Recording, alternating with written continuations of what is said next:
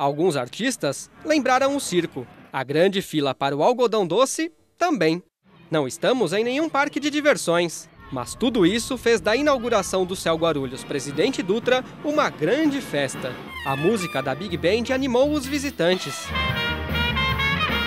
E no corte do bolo personalizado, quem ganhou o presente foi a comunidade. A importância é tirar as crianças da rua, né? Para eles participarem aqui da, da, das atividades que, que tem dentro do céu. É um equipamento com atividades e, e, e novas propostas que ninguém conhecia e que eles não teriam outra oportunidade de participar se não fosse o CEL Presidente Dutra. Essa é a segunda unidade do CEL inaugurada na cidade.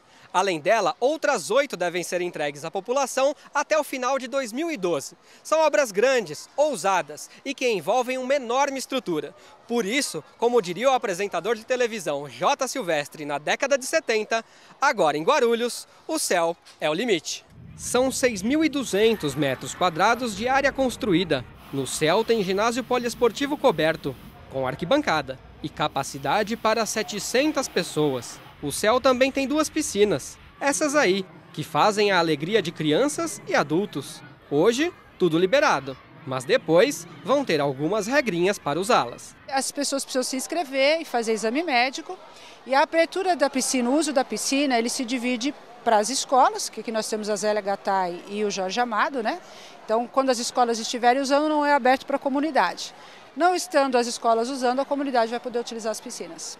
O céu também tem biblioteca. A concorrência com a piscina é desleal, mas aqui também tem atrativos e um mundo de possibilidades para seduzir as crianças. Nas mesas e prateleiras, a coleção completa dos livros de Jorge Amado e Zélia Gattai. O interesse, na verdade, é nós termos livros de literatura para incentivar a leitura, tanto das crianças, no aspecto delas virem para a biblioteca, virem para o centro de incentivo à leitura e olharem para livros que a escola, às vezes, deixa de ter o acervo por diversos motivos. Ah, no céu ainda tem telecentro. Uma boa novidade para muita gente que usa o computador pela primeira vez. Nova fonte de conhecimento, pesquisa e informação. Aqui vai ter curso de informática e nos outros espaços do céu, muito mais. Nós vamos ter cursos de informática, alguns em artes plásticas, música, hidroginástica. E as surpresas não terminaram. A festa de inauguração trouxe ao presidente Dutra a sétima edição do programa Prefeitura nos Bairros, com vários serviços grátis para a população.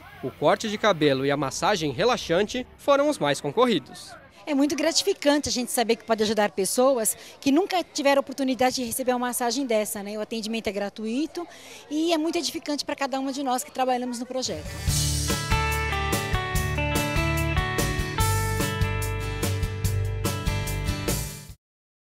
Quer saber mais sobre Guarulhos? Acesse o site www.guarulhos.sp.gov.br.